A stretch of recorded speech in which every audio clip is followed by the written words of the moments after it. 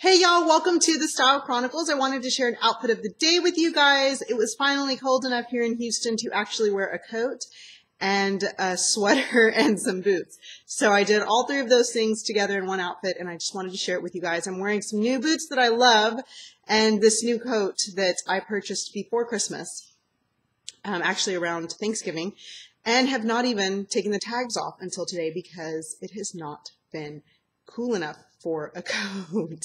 Um, something this thick. And this coat is like Eskimo status coat. It's like, yeah. Woo, I love it. But um, like I said, it just has not been cold enough. So let me stand back there so you can see, and then I'll take the coat off and show you my sweater dress, which is an oldie but a goodie. Um, so really quickly.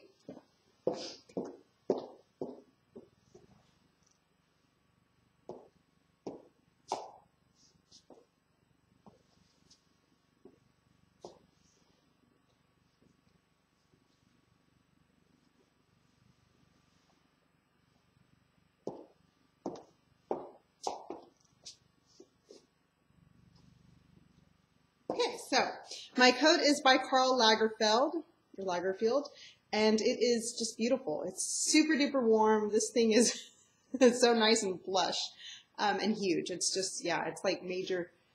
I just like flicking it up. Isn't that cool? Just like flicking it up. So loving the hood on that.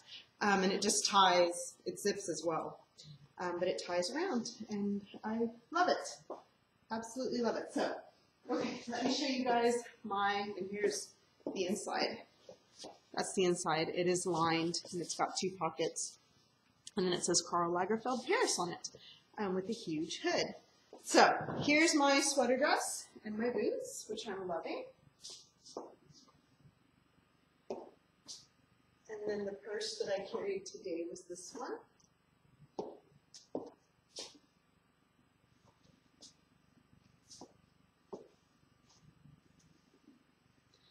And my boots, which are by Steve Madden, they are really pretty, knee high, over the knee, actually. They come up to here. Over the knee boots, which I love. They fall a little bit, but they're really pretty. And I've worn them both with this dress and then also with some blue jeans tucked in, and they tuck in very nicely. So they're big enough to have something tucked into them. Um, but really, really pretty. I'll show you the detail of those up close a little bit better so you can see it. Really pretty. Kind of crazy, huh, to get my whole leg in there. Um, so yeah, nice. And they're very, very comfortable. They have a good sized heel that is substantial enough. I don't feel like I'm too wobbly on them. And then my dress, it's a cashmere, just a gray cashmere dress that I've had for literally years. I've probably had this at least 10 years, and it's just a great, great quality too. Um, it came from Saks Fifth Avenue, and it's like their own label. Um, and I can't remember what the label says in the back, but it's it's really nice, very comfortable, um, and just you know, it's a great piece. It's good with these, and then also with heels and tights. Um, but it also goes really nicely with a pair of Converse tennis shoes, which I think is really really nice um, when you're just kind of hanging out. Um, and then my purse, which is my Tory Burch Emerson tote that I love.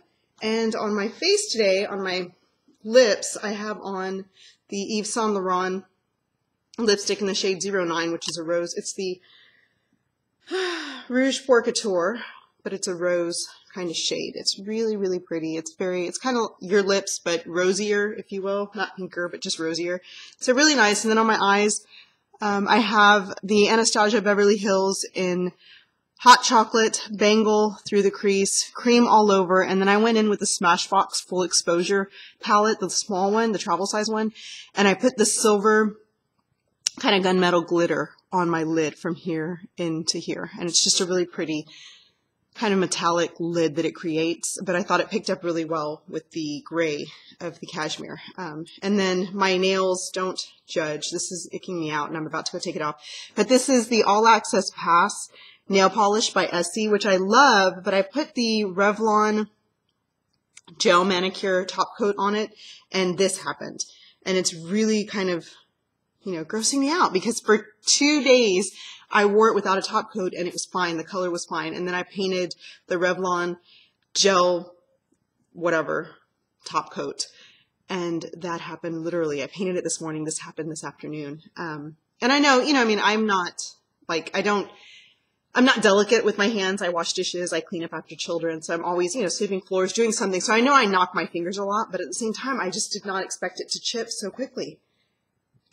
That is that. Um, but anyway, back up to what I was talking about.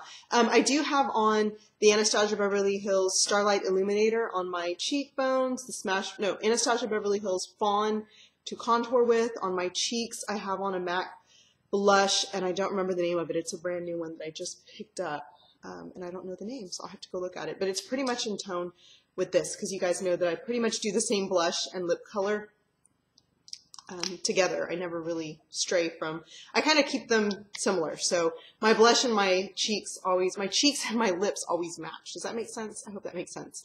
Um, but yeah, hope you guys are having a wonderful weekend so far. And thank you so much for watching. I will talk to you guys later. Bye bye.